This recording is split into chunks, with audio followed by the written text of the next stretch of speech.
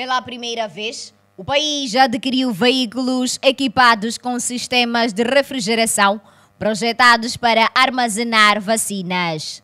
Cada veículo tem a capacidade de conservar aproximadamente 850 litros de vacinas.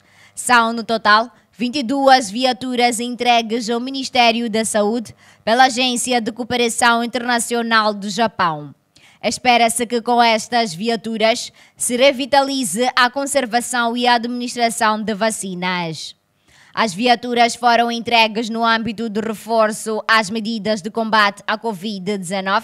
Entretanto, uma vez reduzido o impacto da doença no país, os recursos poderão ser usados para a prevenção e combate de outras doenças, segundo avançou o embaixador do Japão. As viaturas podem conservar vacinas por 8 horas de tempo.